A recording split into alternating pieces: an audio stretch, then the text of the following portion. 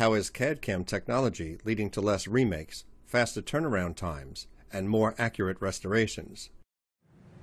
CAD-CAM technology today in the dental laboratory is offering us quality, turnaround time, and efficiency that we've never seen before. Quality because machines are actually making the restorations. We, we don't have changes in our technique and our process. It's done the same way every time. Quality and predictability because we use the same tooth libraries. It's easier to train technicians, but the, the main key is the predictability. So we, we have higher quality because of the machines, but the predictability of the restorations and the speed at which we can create them is overriding almost everything we can do. Once they come out of the machine and we've got that quality and efficiency, we can always add any level of artistry that we want to create the restorations that are needed.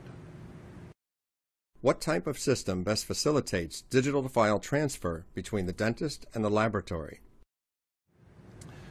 Digital file transfer between the dentist and the laboratory can happen on several different levels. So when we think about digital, we think about CAD-CAM and actually making a restoration. That's not the only process. So digital starts at the beginning with diagnosis and treatment planning. It goes from there to the digital RX, which DDX fills a very nice void in that area. Then with open architecture, different dentists can use different technologies to send me digital files and then I can take those files and send them to any array of machines or design software I want to to create any type of restoration. So we've got an overwhelming array of of options to be able to produce restorations today. With regard to quality, is a digital restoration comparable to a traditional restoration?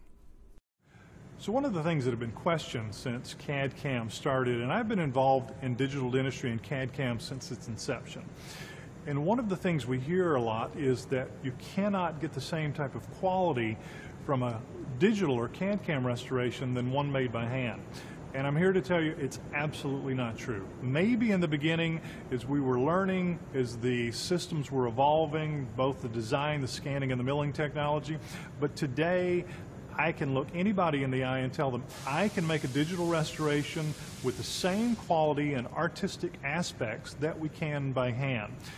I can do anything from a simple restoration to the most complex and also achieve any level of, our, of artistic aesthetics that I want to. So it absolutely enhances the quality but does not take away.